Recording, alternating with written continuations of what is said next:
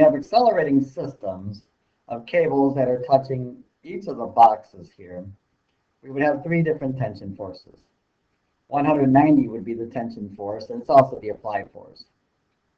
Force tension 2 will act on box 25 and 30, and force tension 3 acts on the 30 kilogram box only. Notice how the 190 newtons must act on all three boxes.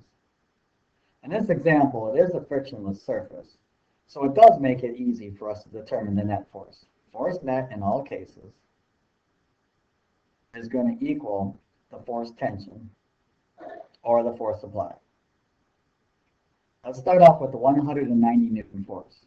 So I'm going to say 190 newtons is going to equal the tension force, but it also equals the net force. Well, since it's acting on all three boxes, I will say 190 is equal to 70 times A. And we can figure out then that the acceleration is 2.7 meters per second squared for the system. Now what about force tension 2 and force tension 3? Well again, force tension 2 acts like the applied force, but it's also equal to the net force in this case. So if I want to find force tension 2, I will just set it equal to MA. In this case, the mass is the 25 kilograms plus the 30 kilograms.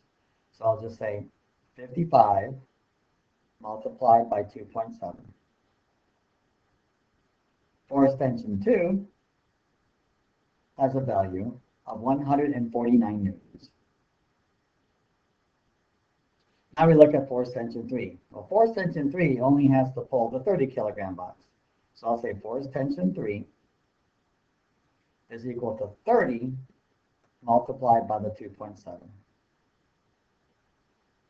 Again, all three boxes are accelerating at the same rate. So force tension 3 is going to equal 81 newtons. Now what about the net forces acting on each individual box? Well, let's remind ourselves that force net always equals mass times acceleration. So we know the acceleration of each of the boxes, and we know the acceleration of each of the boxes. So to find the force nets, all we need to do is multiply mass times acceleration. Let's do each one. The 15 kilogram box will be 15 multiplied by 2.7. The next one would be 25 multiplied by 2.7. And 30 multiplied by 2.7.